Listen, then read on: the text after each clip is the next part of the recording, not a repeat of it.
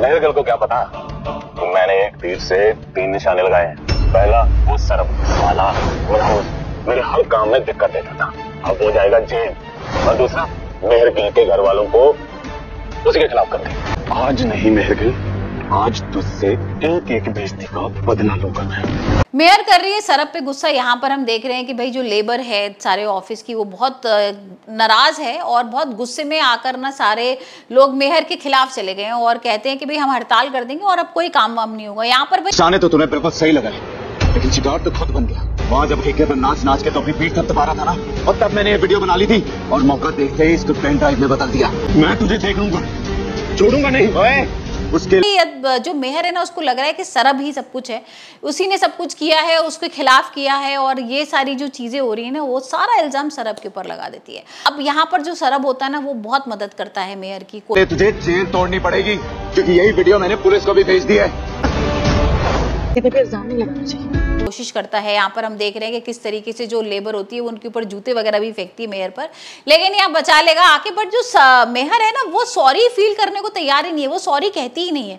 और यहाँ वो एकदम ना बोल भी नहीं रही है मतलब थैंक यू भी नहीं बोल रही है सरब को कि हाँ उसने अच्छा किया और बल्कि उल्टा ना वो उस पर इल्ज़ाम लगा रही है। यहाँ सॉरी नहीं चाहिए आपकी सॉरी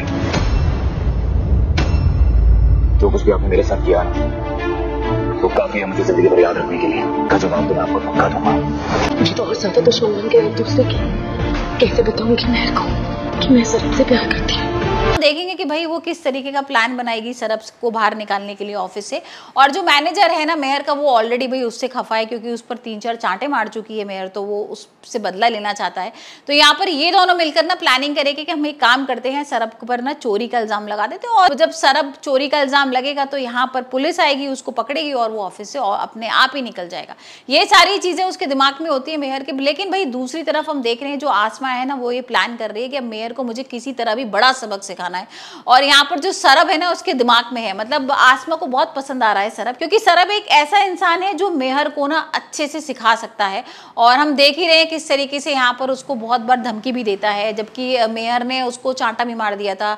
और यहाँ पर सरब ने उसकी जान बचाने की कोशिश भी की थी। लेकिन यहाँ पर आसमा के दिमाग में ना भाई सरब को लेकर अलग ही चीज़ें आ रही हैं। वो करना चाहती है मेहर की सरब से शादी।